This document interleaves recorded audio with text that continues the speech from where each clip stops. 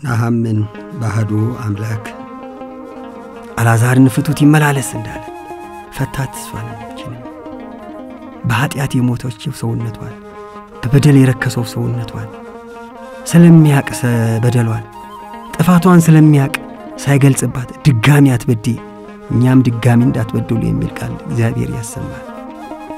ይህን ሰምተን ላለመበደል እግዚአብሔር ይርዳን፣ ጽናቱን ይስጠን፣ ጉልበቱን ይስጠን።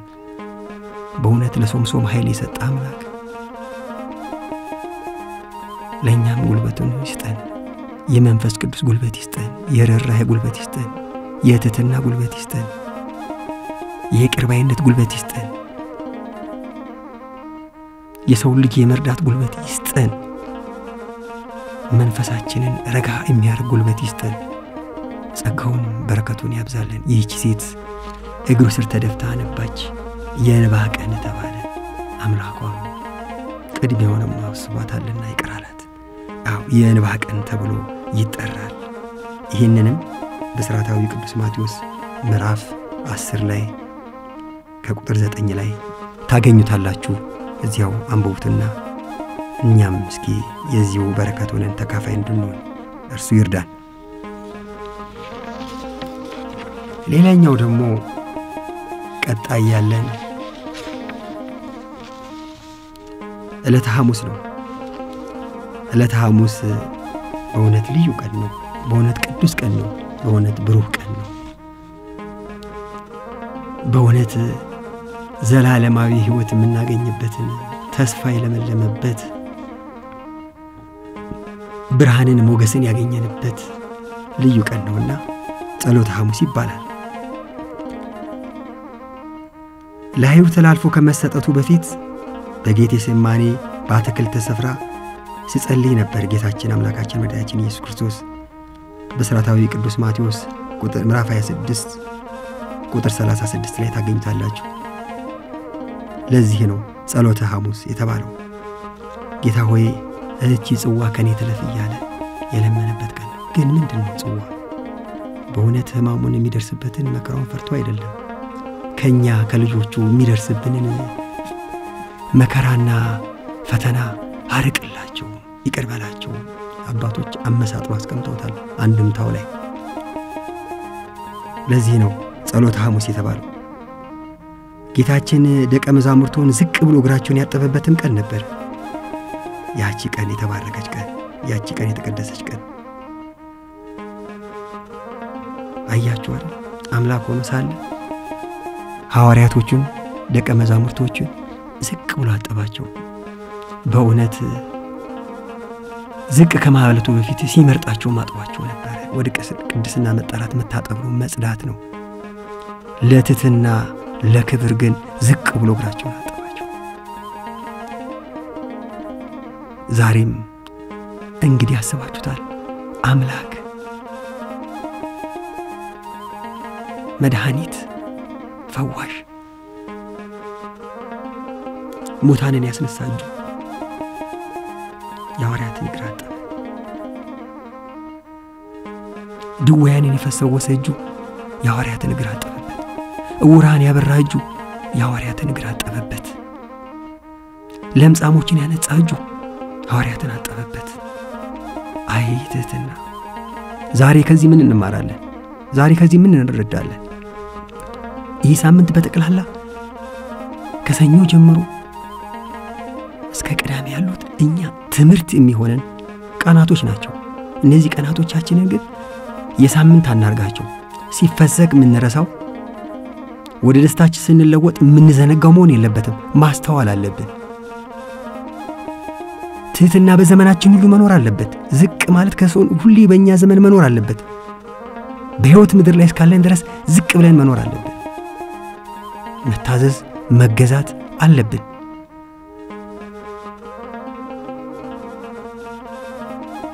ጠቢብ ሰሎሞን ምንድን ነው ያለው? መጽሐፈ ምሳሌ ላይ ልጄ ሆይ አባትህ ሲጠራህ አቤት ሲልክህ ወዴት ብሎ ነው በነቢያቶች የተጻፈው። ዛሬም ያንን ትእዛዝ አበው በትሕትና የፈጸሙትን ዛሬ እርሱን በትሕትና ዝቅ ብሎ የሐዋርያትን እግር አጠበ። ዛሬም እኛም መጸየፍ የለብንም። ባናጥብ እንኳን ብንጠርግ፣ ባናጥብ እንኳን ባንንቅ፣ ባናጥብ እንኳን ባንገላምጥ፣ ባናጥብ እንኳን ባናማ፣ ባናጥብ እንኳን ባንተች፣ ዝቅ ብለን ባንሰራ እንኳን የሚሠራውን አለመንቀፍ አለመስራት ራሱን ይቻላል። የሚሠራን ግን መንካት እግዚአብሔርን መንካት አገልጋይን መንካት እግዚአብሔርን መንካት በእግዚአብሔር ደጅ የሚመላለሰውን መንካት እግዚአብሔርን መንካት ነው። ባናረገው እንኳን ከዚህ እንኳን እንቆጠብ። ጊዜው እስኪመጣልን ድረስ ዝቅ እስክንል ድረስ እናስተውል። ሰውን አንናቅ። በእውነት ሁሉም አካል ነው። ድዌ ያለበትም የእግዚአብሔር ሥጋ ነው። ንጹሕ የሆነውም ሥጋው የእግዚአብሔር ሥጋ ነው። ያ እግዚአብሔር ለምክንያት ነው ያመጣው። እግዚአብሔር እስካያነሳልን ድረስ መጸየፍ የለብንም። ነገን በእኔ ማሰብ አለብን። ነግ በእኔ ብለን ማሰብ ነግ በእኔ ማለት እኔም ነገ እንዲሆናለሁ ማለት አንዳንድ ጊዜ የኔ ቢጤ ስንል የኔ ቢጤ ማለት ምን ማለት ነው? እኔም እንዳንተ ነበርኩኝ።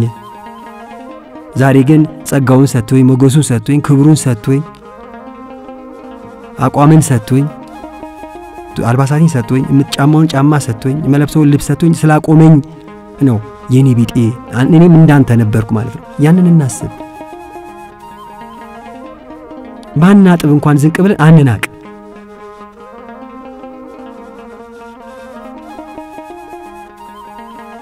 አምላክ ሆኖ ፈጣሪ ሆኖ እንዴት የፍጡሩን ሕግ ዝቅ ብሎ ያጥባል? ያውቁታል እኮ አልታጠብም ያለ አለ። እንዴት በአንተ እጅ እኔ እታጠባለሁ? እንዴት አምላኬ፣ እንዴት ጌታዬ እኔ እኮ ታናሽ ነኝ። ይህ ይሆን ዘንድ ግድ ነው። እኔ አንተ እግር ሳጥብ ለእኔ ክብር ለአንተ ግን ሞገስ ነው። እንኪያስ ገላይን እጠበኝ።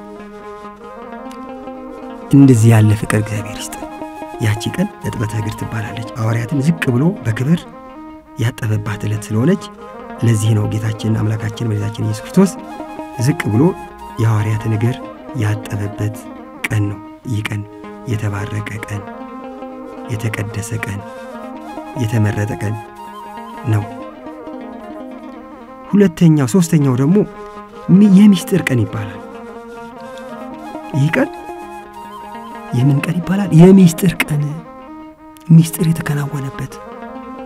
ዛሬ ዲያቆናቱ፣ ካህናቱ መነኩሴ ነኝ ባዮቹ የዚች የታላቋን ቅድስት ቤተ ክርስቲያን ሚስጥር አውጥተው በአደባባይ በአደባባይ በእውነት እግዚአብሔር ግን ቀላል የክብሩ መጠሪያ የሆነችዋን ስሙ የተጻፈበትን መክተፊያ እያሉ ኬታ አምጥተውት ነው? ኬታ አግኝተውት ነው? ቤተ ክርስቲያን ሚስጥር አካፋይ ስለሆነች ካህናቶች የዲያቆናቶች ነው ምስጢር ሰጥታ ቅዱስ ሥጋውን ክቡር ደሙን ሚስጥር የሆነውን የእግዚአብሔርን አውጥተው አደባባይ ላይ መለፍለፍ መስሎሃል። ትቀምሳታለህ፣ ታገኛታለህ። እያንዳንድ መስሎሃል። ዛሬ አንዳንድ ጊዜ ምሁራኖች የሚናገሩት ነገር አለ። ሀብት ንብረትህ ከአንተ በላይ ከሆነ ያጠፋሃል። ስለ እውነት ልንገራችሁ፣ መንፈስ ቅዱስ አይደለም የሞላባችሁ፣ ብራችሁ ነው እንዲህ የሚያናገራችሁ። የምታገኙት ረብጣ ብር ነው እንዲህ የሚያናገራችሁ እንጂ በእውነት ላላችሁበት አምናችሁ በቅታችሁ አይደለም፣ ላላችሁበት ቦታ ተመርጣችሁ አይደለም። ልንገራችሁ፣ ጥቅም አታለሏችሁ። ታውቁታላችሁ። እዚች ደብር ላይ ሰርታችሁ የወጣችሁትን እያንዳንዳችሁ ይህን ምስጢር በዚህ ዕለት የገለጸበት መድህን ዓለም ክርስቶስ ነው። እኛ የመጣ ነው አይደለም። ካህናቶች ያመጡት አይደለም። ሊቃነ ጳጳሳቶች ያመጡት አይደለም። ራሱ መድኃኒታችን መድኃኔ ዓለም ክርስቶስ ለሐዋርያት የገለጸው ይህ ምስጢር ነው።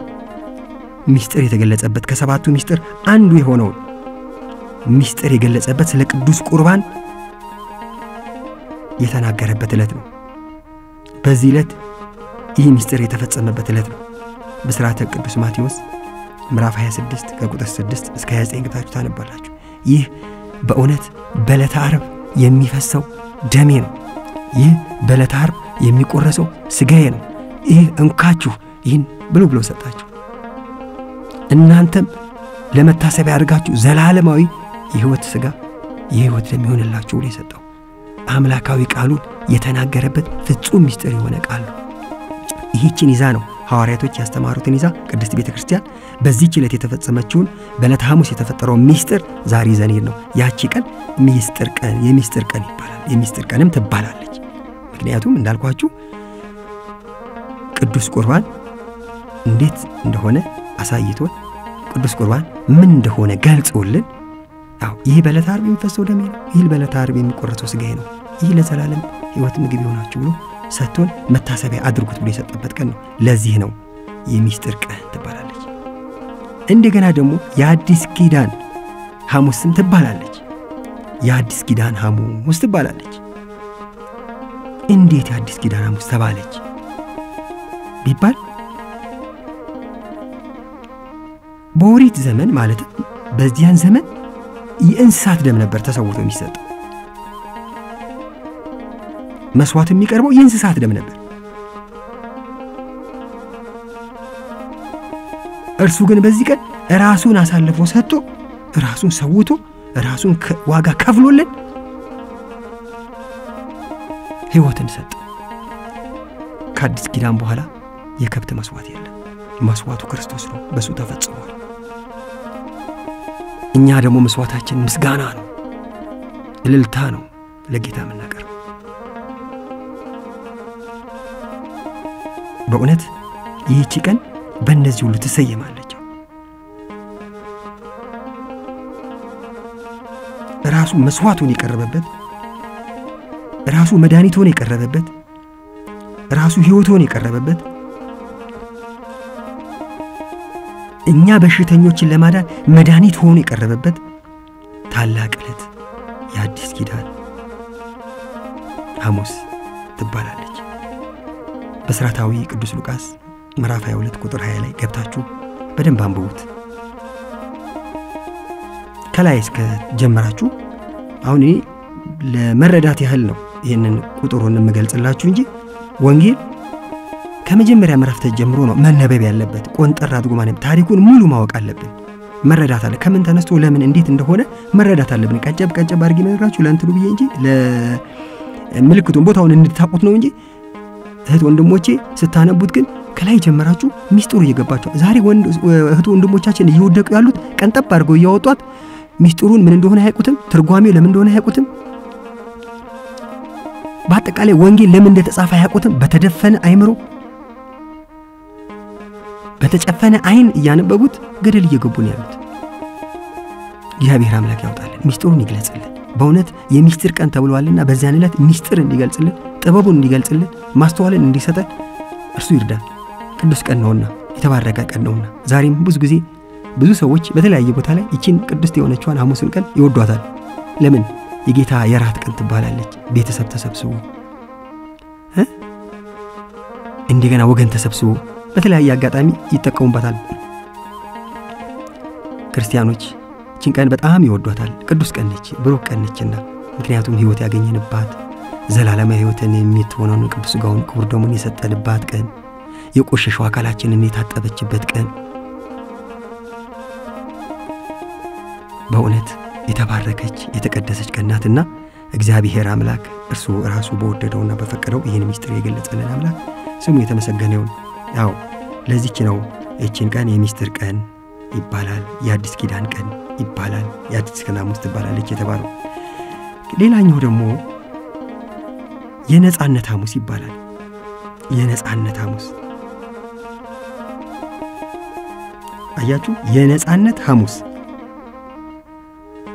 ለኃጢአት ለዲያብሎስ ባሪያ ሆኖ ከመኖር ማብቃቱን እንዲሁም የሰውን ልጅ ያጣውን ክብር መልሶ ማግኘት የተረጋገጠበት ቀን ስለሆነ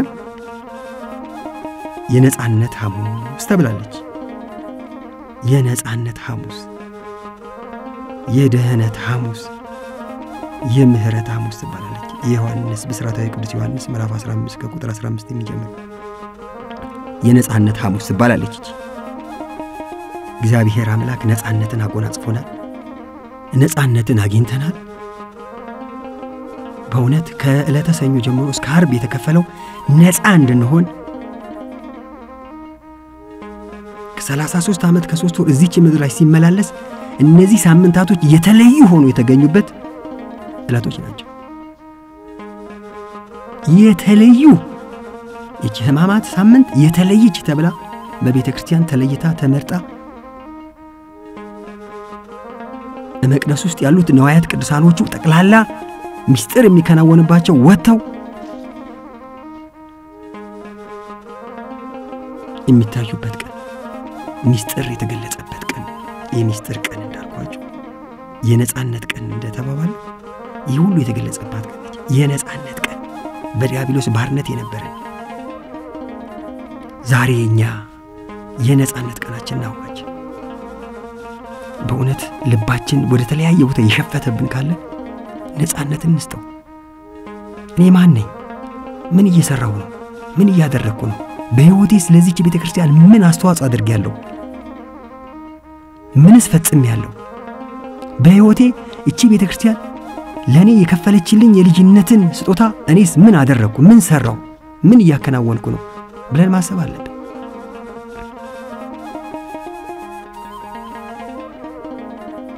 ይህቺ ሳምንት ልዩ ሳምንት ነች። የነፃነት ሳምንት ተብላለች።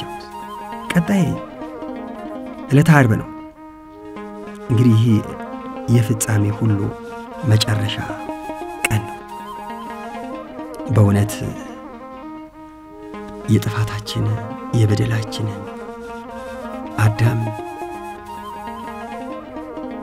በእውነት የተመረጠለትን ያችን ልዩ የሕይወት ቦታዋን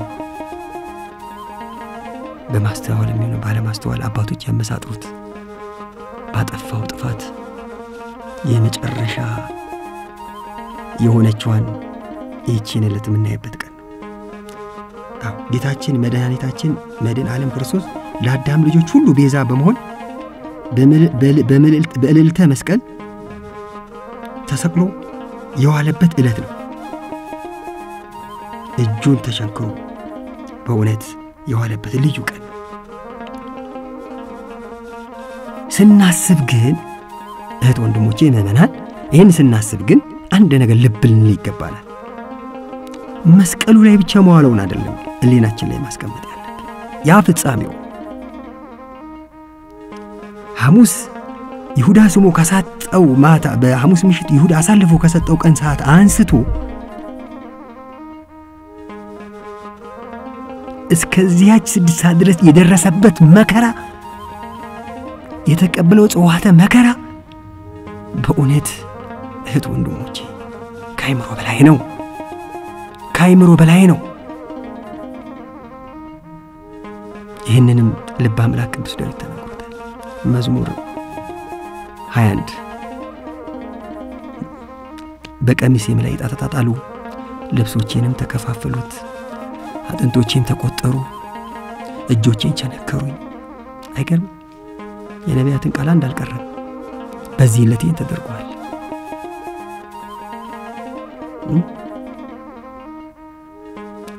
የደረሰበት ግርፋት ግብረ ሕማማት ላይ በደንብ አድርጋችሁ አቦ ሲያስተምሩ መስማት፣ ሲነበብ መስማት ቅድም ልክ ዕለተ ሰኞ ላይ የተናገርናትን ያችን ግብረ ሕማማትን ጠንቅቆ መስማት።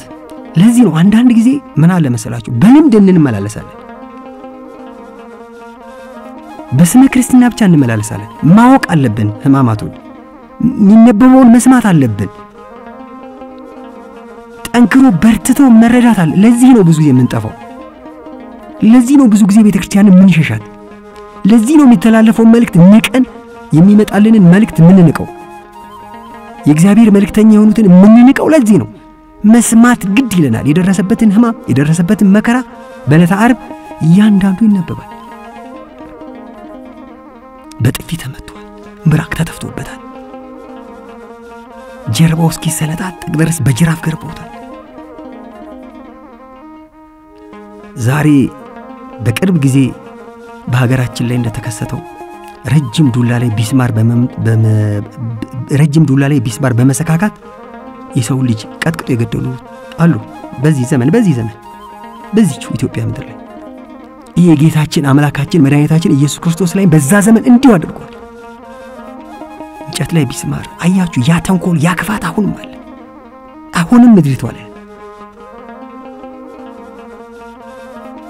የሰው ልጅ ሰቅለናል፣ አንጠልጥለን ሰቅለናል። ሞቶም አላረፈም፣ ሥጋውን አቃጥለናል።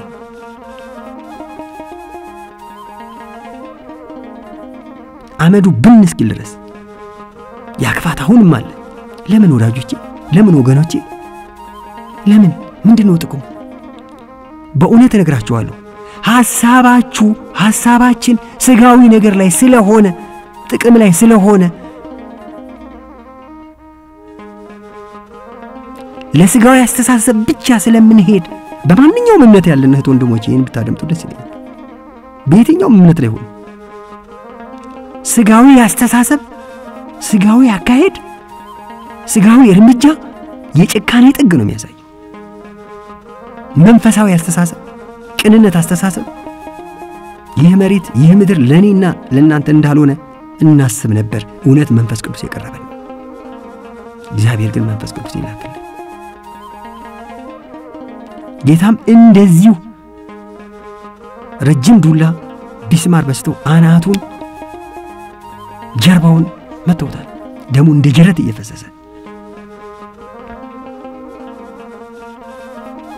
በየአደባባይ በቅርብ ጊዜ ትዝ ይላችሁ እንደሆነ እዚች ምድር ላይ እዚች ምድር ላይ እኔ ሌባ ነኝ እኔ ሌባ ነኝ እያለ አደባባይ ሰው ወስደው ሌባ ከሆነ ግዞት አስቀምጦ መምከር ሲሉ በአደባባይ በጥይት ተረሽኗል። እዚህ ምድር ላይ ያ አይደለም። ያ አይደለም። ይህ ፖለቲካ ሊያካሄድ ያ አይደለም። መምከር ነው፣ መገሰጥ።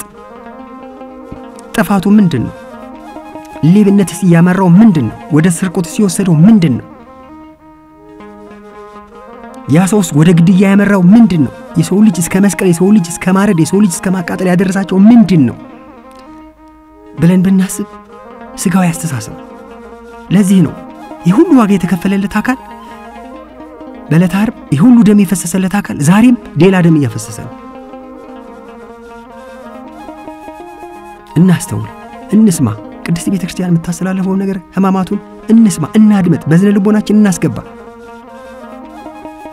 በእውነት ቅዱስ ዮሐንስ ያ ኦትትን አይ ትሕትና፣ አቤት ትሕትና፣ አቤት ርኅራኄ፣ አቤት ፍቅር፣ አቤት መልካምነት እያለ ቅዱስ ዮሐንስ ከመጠን በላይ የሆነ ትሕትና ያየንበት ዓርብ፣ ከመጠን በላይ ፍቅር ያየንበት ዕለተ ዓርብ ሴቶች እህቶቻችን ከመስቀሉ ጀርባ እየተከተሉት ዋይ ዋይ ሲሉ ለእኔ አታልቅሱ፣ ለልጆቻቸው ዛሬ እናልቅስ። በእውነት ለዛሬ ነው የሚለቀሰው። እናት አባቶች እናልቅስ ለሚያጠፉት ልጆች፣ እናጥፍት እናልቅስ ለምናጠፋው ለእኛ። የሕማማት ይህን ነው ማሰብ ያለብን። ዕለተ ዓርብ ብዙ ዋጋ የተከፈለበት በእውነት እንደ ጅረት ውሃ ደሙ እየፈሰሰ መንገድም አልመረጡለት። በኮረብታ በሚቆረቁር እግር በሚበሳ መንገድ ነው የወሰዱት። መልካሙን መንገድ አልመረጡለትም። አምላክነቱ ችሎት እንጂ ጌትነቱ ችሎት እንጂ የሰው ልጅ አይደለም። ይሄ ያንን አንድ ዱላ ሲያቀርቡበት እንኳን አይነሳም ነበር። አምላክነቱ ጌትነቱ ችሎት እስከ ፍጻሜው አደረሰው። ፊቱ በደም ጅራት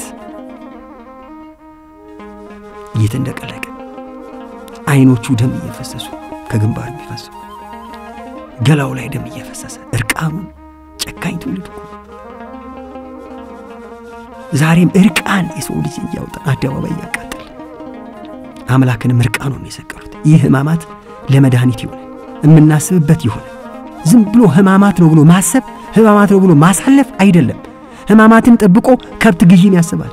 ሕማማትን ጠብቆ ለሚበላውም ያስባል። ሕማማትን ጠብቆ ለሚለብሰው ልብስም ያስባል። ሕማማትን ጠብቆ የሚደሰትበት ጊዜም ያስባል።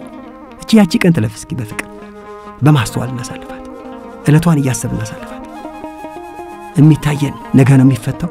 የሚታየን ነገ ነው የሚያልቀው። የግዳጅ አይደለም እኮ ይሄ ጾም የፍቅር ጾም ነው። የምሕረት ጾም ነው። የይቅር ባይነት ጾም ነው። የአንድነት ጾም ነው።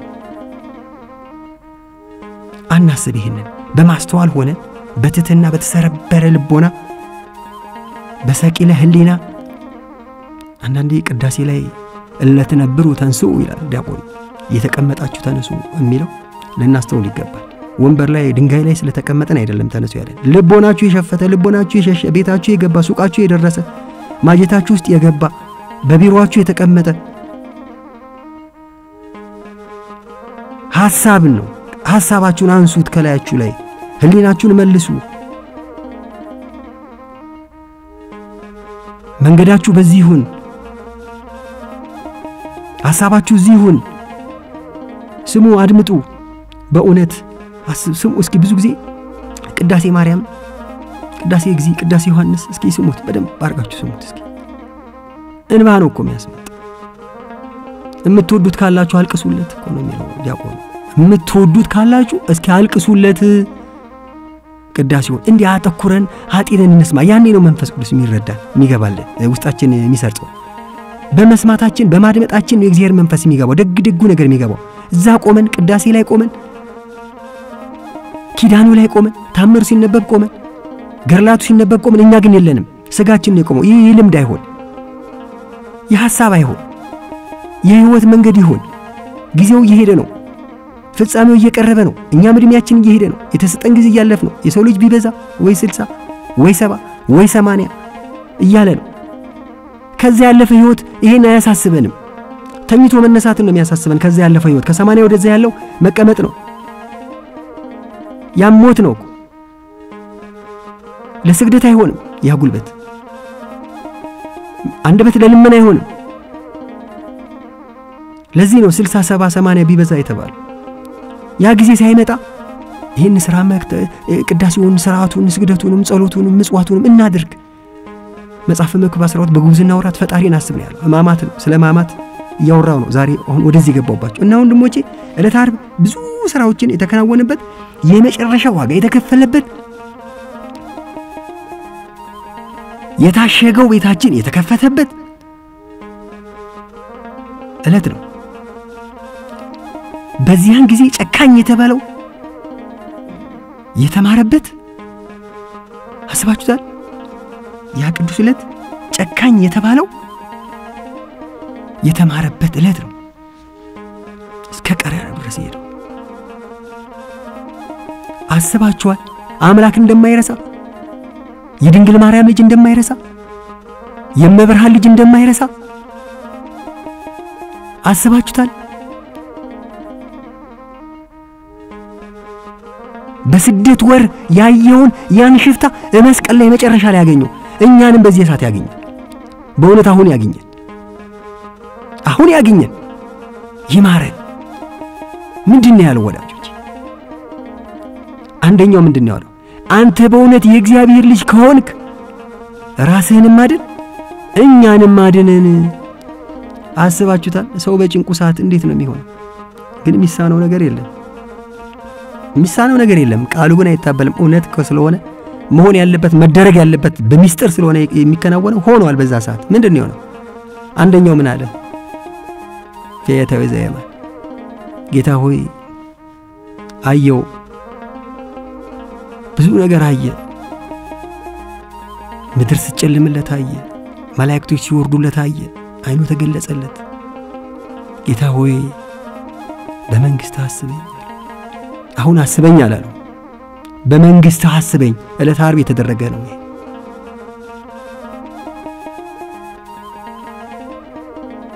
ግብረ ሕማማት ላይ ሲነበብ ትሰሙታላችሁ።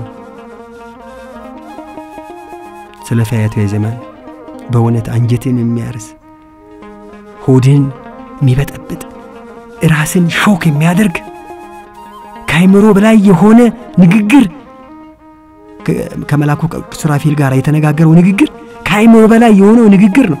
ዛሬ ተጽፎ ነው የምናገኝ። አንተ ማነ? ወዴት ነው የምትገባው? ምንድነህ አንተ? እኔ ወንበዴ ነኝ፣ እኔ ሽፍታ የነበርኩ ነኝ። እና ታዲያ አንተ እንዴት ትመጣለህ እዚህ?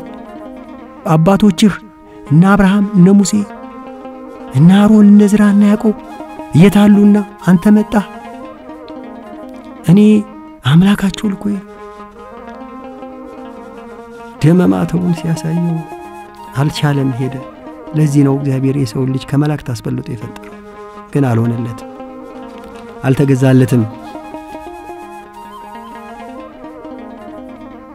ከመላእክት ትንሽ አሳንሶ ፈጠረው ነው የሚለው። ይቅርታ አልተገዛለትም፣ አልታዘዘለትም ለአምላኩ ሰው። ታዲያ ወዳጆቼ እስኪ መጥፎ እየሰራን ነው እያገለገልነውም አይደለንም እያልኩ አይደለም። ሁሉ ነገር ግን መልካም ይሁን ነው። ሁሉ ነገር ጥሩ ይሁን ነው። ሁሉ ነገር ይስተካከል ነው። ሁሉ ነገር መልካም እናድርግ ነው። ደግ እናድርግ ነው። ለምን የበለጠ እንድንተጋ ነው። ስለዚህ ይህቺ የተቀደሰች አርብ እኛ ሕይወትን ያገኘንባት ዕለተ አርብ በሥርዓታዊ ቅዱስ ማቴዎስ ምዕራፍ 27 ቁጥር 35 ላይ ታገኙታላችሁ። መልካም አርብ ይባላል። መልካሙ አርብ ይባላል። ጌታ ከተሰቀለ በፊት በተለይም በሮማውያን ከመሰቀሉ በፊት ጌታችን አምላካችን መድኃኒታችን ክርስቶስ አሁን ይህ መስቀል ዕለተ አርብ በሮማውያን የወንጀል ሕግ መሰረት መቀጫው ነበር። መስቀል የሰው ልጅ ይሰቀልበት ነበር። እዛ መስቀል ላይ አያችሁ። እየሰማችሁ ነው ወንድሞቼ፣ እህቶቼ የሰው ልጅ መቀጣጫ፣ የሰው ልጅ መቅጫ፣ ወንጀለኛ መስቀያ የሆነው መድኃኒት አደረገልን። መድኃኒት አደረገልን። በደሙ ቀድሶ የምሕረትን የሕይወትን አርማ አድርጎ ነው የሰጠን።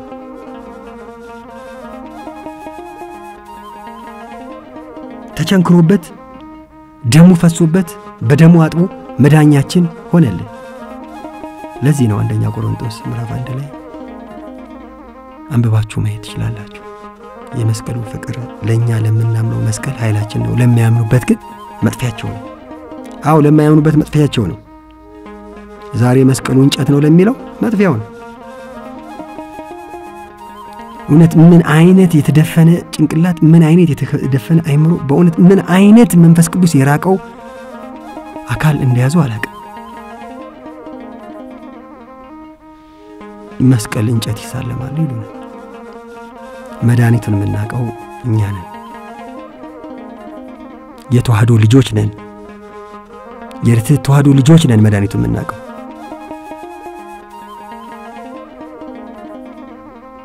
መድኃኒቱን የምናውቀው እኛ የድንግል ማርያም ልጆች ነን። መድኃኒቱን የምናውቀው እኛ የቅዱሳን መላእክት ክብር የምንሰጥ ልጆች ነን። መድኃኒቱ የምናውቀው የአበው ነቢያቶቻችን አባት ሚስጥር ምናቅ ነን። መድኃኒቱ የምናውቀው የቅዱሳን ሐዋርያቶችን ሚስጥር ምናቅ ነን። መድኃኒቱ የምናውቀው የቅዱሳን አባቶቻችን ሚስጥር ምናቅ ነን። የእነ አባ ተክለ ሃይማኖት ጻድቅ፣ የእነ አባ ገብረ መንፈስ ቅዱስ ጻድቅ፣ የእነ አባ እስትንፋሰ ክርስቶስ ጻድቅ፣ የቅዱስ አባታችን አቡነ አረጋዊ ጻድቅ፣ የገብረ ቅዱስ ገብረ ክርስቶስ ጻድቅ የእነዚህ ስማቸውን ያልጠራኋቸው የቅዱሳን አባቶች ታሪክ ሚስጥር የምናቅ ነን። እኛ ነን መድኃኒቱን የምናውቀው እኛ ስለ መስቀሉ ክብር ማንም አይነግረንም። መስቀል ኃይላችን ነው። መስቀል ቤዛችን ነው። መስቀል መዳኛችን ነው። ለነፍሳችን ሕይወት የምናገኝበት ነው። ስለዚህ ላላመናችሁት ለእናንተማ ከእንጨትም በላይ እንጨት ነው፣ ለእኛ ግን መድኃኒታችን ነው። ለዚህ ነው እነሱ ሮማውያን ለጥፋት ሲጠቀሙበት የነበረውን ቅዱስ መስቀሉን ለእኛ ግን መድኃኒት፣ ድህነት፣ ሕይወት፣ አጋንንትን ድል የምነሳበትን አድርጎ የሰጠን። መዝሙረኛው ቅዱስ ዳዊት ለእጆቼ ሰልፍን ለጣቶቼ ውጊያን አስተማራቸው ይላል ማማተብን ሲገልጽ በአንድምታው። ስለዚህ እህት ወንድሞቼ ይህንና ይመስላል በዕለተ አርብ የተደረገው ታላቅ ተአምር። እንደገና ደግሞ ወደ ቅዳሜ ስንመጣ ያው የመጨረሻዋ ዕለት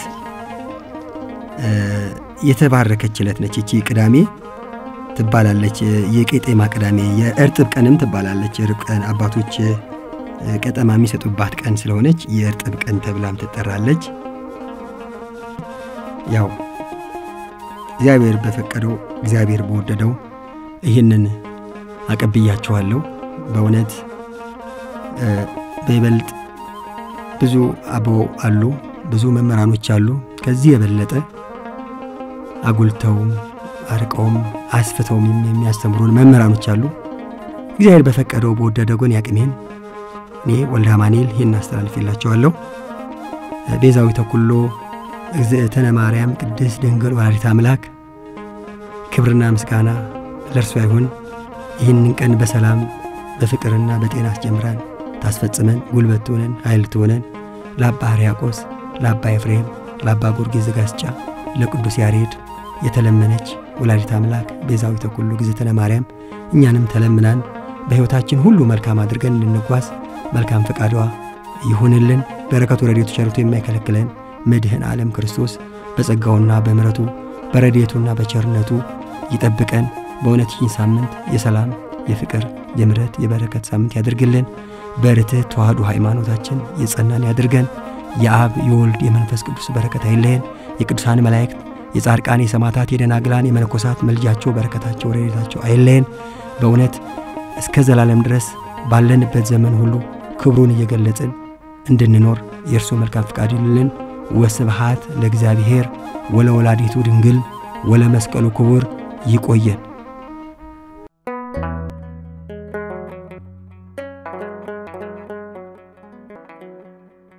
ዘኢትዮጵያ